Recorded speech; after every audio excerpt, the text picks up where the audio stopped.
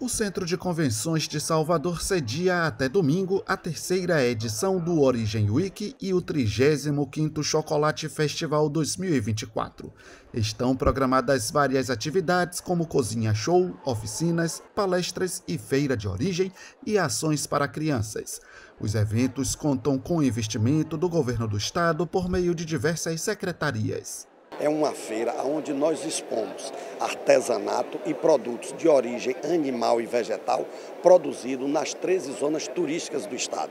Esses produtos que aqui estão apresentados e que são negociados, eh, eles têm uma responsabilidade social, ambiental eh, e por conta disso é o próprio conceito da agricultura familiar. A importância disso aqui para a economia do estado da Bahia. São 230 estandes de 194 marcas e produtores da Bahia e outros estados, expondo e comercializando itens feitos com cacau e outras matérias-primas.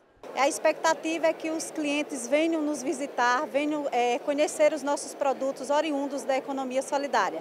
Aqui nós temos é, os produtos naturais do território de Irecê, como tempero natural, temos é, o mel orgânico, temos o artesanato em geral. A entrada é gratuita, porém os visitantes devem entregar um quilo de alimento não perecível que será doado para a campanha Bahia Sem Fome. A expectativa dos organizadores é que 28 mil pessoas passem pelo local, gerando uma receita de aproximadamente 6 milhões de reais em negócios. Essa diversidade que você encontra aqui hoje tem uma origem, que é a agricultura familiar. Então, os produtos que estão aqui, chocolates, os cafés, é, os, os, derivados do milho, os derivados do leite, vêm de cooperativas da agricultura familiar que estão ganhando o mercado, como a Copag de Vazia Nova, como a Copperbach de Barra do Choça.